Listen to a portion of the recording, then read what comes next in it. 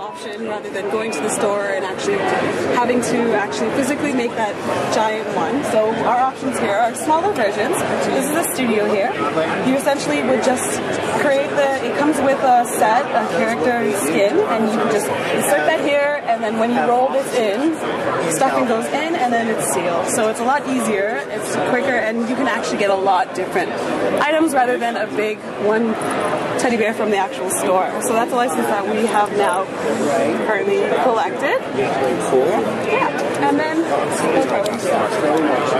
our happy, very recent license.